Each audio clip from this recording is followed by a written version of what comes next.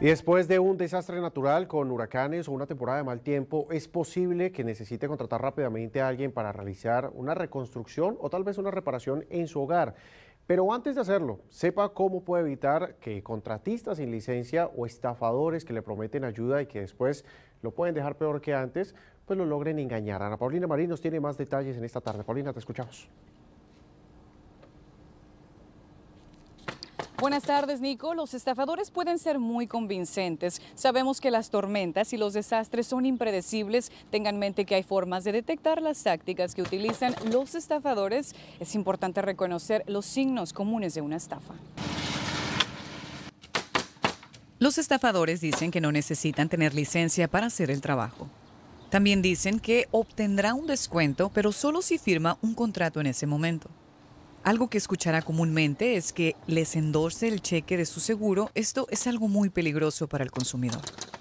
Si es el insurance claim, muchas veces te dan el cheque y luego el contratista quiere el, parte, pero dame el, cheque. Pero el problema es si le vas a entregar el cheque y no te acaba el trabajo. Otras de las banderas rojas a tener en cuenta son los estafadores le dicen que les endorse el cheque de su seguro, pagar todo por adelantado. Insisten para que les paguen con una transferencia de dinero, tarjeta de regalo o aplicación de pago y en efectivo. Los estafadores le sugieren que tome prestado dinero de un prestador que ellos conocen. Eso es muy difícil también porque no sabes quién es esa persona tampoco. Y si te van a dar ese préstamo, qué es el interés. Por eso uno debe de chequear y hacer shop around, a ver qué clase de precios tienen de agarrar un loan. Por el, es, es más garantizado si va a ir con un banco a un loan company que sea en la área.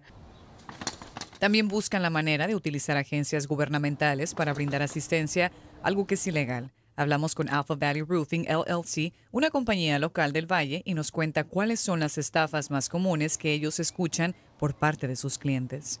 Hay mucha gente en la comunidad este, tratando de cobrar una cantidad de dinero antes de poner un techo arriba de la casa. Este, aquí en Apple Roofing esa no es nuestra modo de hacer negocios.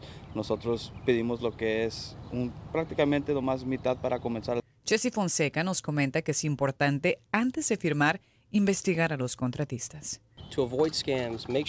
El mejor consejo que les pueda dar es que la compañía sea local, ya que si algo pasa puedes regresar a esa compañía. También búscalos en Google, fíjate en los comentarios que dejan los clientes y visita sus plataformas sociales para ver qué tipo de proyectos tienen. Si tienes seguro o no, aquí le dejo algunos consejos que lo ayudarán a protegerse y a proteger su bolsillo.